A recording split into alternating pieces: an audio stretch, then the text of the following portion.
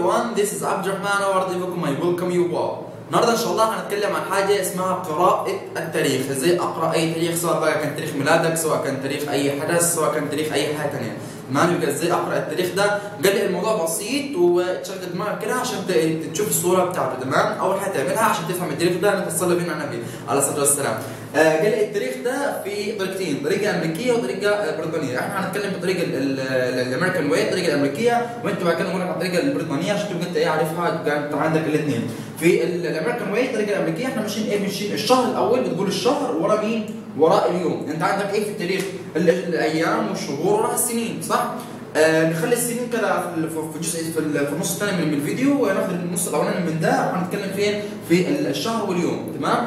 الأمريكي بيقول الشهر الأول ورا اليوم البريطاني البريطاني ماشي عادي ماشي يوم شهر سنة بيقرأها كده بيقرأها يوم شهر سنة إنما الأمريكي لا بيقرأ الشهر واليوم بعد كده السنة. هم الطريقتين كده.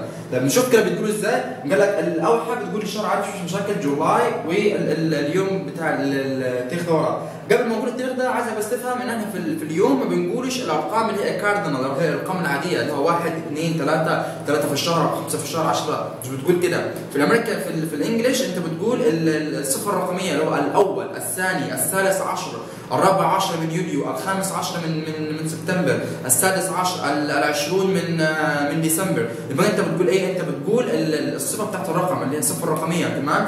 آه، أو الترتيب الرقمي يعني تمام؟ فبتقول إيه؟ بتقول الخامس ع- الخامس والعشرون من من سبتمبر السادس والعشرون من من يناير تمام؟ يبقى أنت بتقول إيه بتقول الصفه الرقمية. يبقى أنت بتقول the first الأول. يبقى July the first يعني الأول من آه، من يوليو مثلا July the second يبقى الثاني من يوليو جولاي ذا ذا 9 يبقى إيه؟ ال- التاسع من يوليو. مثلا جولاي ذا 20 مثلا 25 مثلا يبقى الخامس والعشرون من يوليو.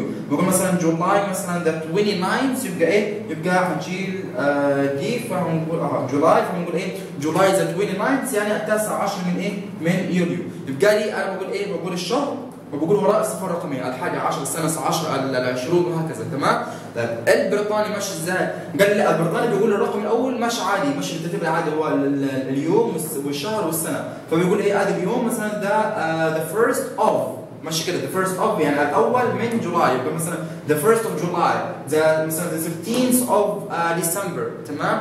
يبقى أنت ماشي ترتيب عادي هو ال- اليوم بعد كده الشهر. تمام؟ بس الأمريكان أنتوا لازم تبقى عارفة عشان خاطر نسمع أي movie أو أي حاجة تبقى فاهم هو بيقولها إزاي. بيقول الشهر الأول وراء إيه؟ وراء ال- اليوم بتاعه. طيب في التاريخ قال إيه التاريخ؟ أبسط من ده. التاريخ فيه طريقة صعبة وفي طريقة سهلة. ماشي مع الناحيتين يعني. سواء دي أو ده. آه، الطريقة الصعبه ودي ما حدش بيستخدمها يعني غير غير قليل جدا اللي هي إنك تقرأه رقم رقم. رقم عادي مثلا 1900 and مثلا 40 47 آه، مثلا 47 تمام؟ أو مثلا 59 أو الكلام ده كله يعني مثلا 1 آه، 1988 تمام أو مثلا 2000 لا حدش حدش بيقرأ اللي هو رقم رقم 1988 مفيش مفيش الكلام ده إيه الطريقة السهلة بقى؟ ليه الطريقة دي عايز تستخدمها استخدامها بس مش يعني هي- هتبقى يعني هيستغربوك في طريقة كلامك تمام؟ خليها سهلة على نفسك اللي هو إيه؟ قال لك التاريخ كلها بتتقسم إيه؟ بتتقسم اثنين فبقول إيه؟ بقول 19 سنة 19 أربعة- 47 تقرأ كده سنة 19 47 سنة 19 88 سنة دي 2000 فيش فيش فيش رقمين عشان أقسمهم دي ممكن تتقسم عادي ودي تتقسم عادي ودي تتقسم عادي تمام لكن دي عشان أصلا كلها أصفار مش مش مش تتقسم مش محتاجة تقسمها فأنا بقول إيه بقول 19 مثلا آه 47 1947 يعني آه سنة 1947 مقسمه نصين 19 47 هنا بقول مثلا 1988 1988 تمام؟ هنا بقول مثلا آه 2000 مش مستاهل أصلا اقسمها 2000 هي هي نقطة واحدة يعتبر. 2000 تمام؟ آه فبقول إيه هنا مثلا هنا ممكن أقسمها بقول مثلا 20 بس هنا لازم أنطق الصفر. لازم أنطقه ما ينفعش أسيبه. فبقول إيه بقول 2001 2001 أو 2003 الأسهل في دول بتقول 20 آه مثلا 2001 2001 يعني مثلا يعني سنة 2001 2003 2004 2009 انت الاسهل انك تقول في في ال 2000 دول هو 2000 ولا رقم طول 2001 2003 2000 لما يكون في أصفار. عايز تقولها تقسمها عادي؟ تقول مثلا 20 أو 1 20 أو 3 الكلام ده كله.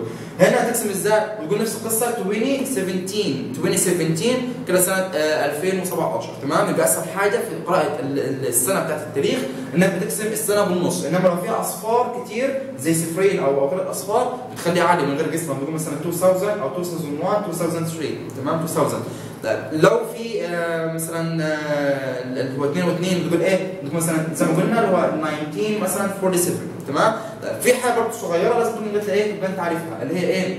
عشان برضه هت- هتشوفها كتير لما تلاقي التاريخ مثلا سنه 1940 أو أو 80 بيحط لك بعدها S إيه معناها؟ أو ايا كان مثلا 20 ويحط لك S 30 يحط لك S وراها الكلام ده كله إيه معناها؟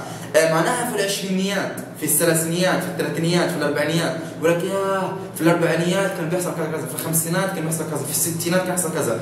قال معنى إيه قال لي معنى في الأربعينات والخمسينات؟ تنطق إزاي؟ قال لي عادي بقول برضه 2 2 وأكمل. بقول 1940s تمام؟ في ال في 1940s اللي هي في الأربعينات. في الأول مثلا 1940s uh, there were مثلا كذا كذا. في- الأربعينات كان بيحصل كذا كذا. أو في في كان كان في حاجة معينة يعني فيها. بقول مثلا uh, 1980s 1980s يعني في في في الثمانينات كان بيحصل كذا.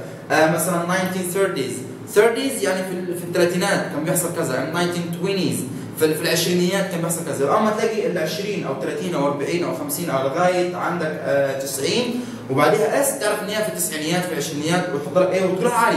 تقول مثلا بدل ما تقول 20 20s بدل ما تقول 30 30s تمام؟ في التسعينيات 30s تمام؟ بدل ما نقول 40 40s تمام؟ في في, ال- في الأربعينات. مفهومة؟ يبقى أنت كده لو عندك التاريخ السنة تقسمه نصين. تمام؟ طب لو عندك اللي عايز تقرأ الشهور وال- والأيام بتاعتها قال لي في الأمريكي بتقول الشهر ورا اليوم. في البريطاني بتقول اليوم اهو بتقول اليوم ورا إيه؟ ورا الشهر وراه تمام؟ بقول مثلا July the first هنا بقول the first of July بتقول مثلا دي أمريكي. بتقول مثلا July the second بتقول the second of July بتقول مثلا July the 9 يبقى the 9 of July يبقى ده ده الامريكي وده إيه؟